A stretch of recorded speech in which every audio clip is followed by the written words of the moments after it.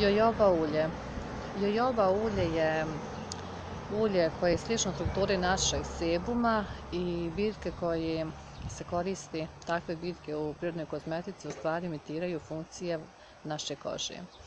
To je jedan suvenir prirode, drvenasto zimzeleno grmlje koje raste u e, suvim i žestokim predjelima e, sa izrazitim efektom hlađenja i vlažnosti našega tijela.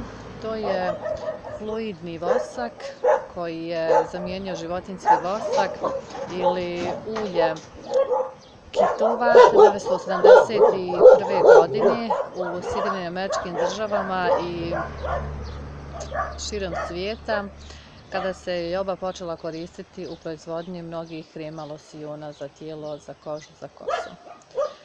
E, joba je bogata masnim kiselinama, hranjivim materijama, bakrom, cinkom, selenom, kao i vitaminom E. Ona raste u jugozapadnom Meksiku, zatim e, Meksiko, Južna Kalifornija i Arizoni.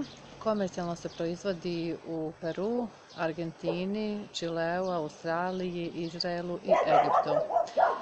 Za jogu se kaže da je sve što je potrebno za našu kožu i kosu. E, ona je dakle sredstvo koje čisti našu kožu, serum protiv, serum protiv starenja, e, protiv strija, zatim akni, e, gel za usne, sredstvo koje možete skidate šminku, losijon posle brijanja, zatim kaže se da je ona majka lojnih žlijezda, E, jedan prirodni hidratantni faktor koji dakle spriječava da kožne ćelije gube vodu jer zdravlje naše kože zavisi od e, rada lojnih žlijezna i proizvodnje voska ili sebuma na našoj koži, a naš sebum naše kože je sličan ulju jojobe.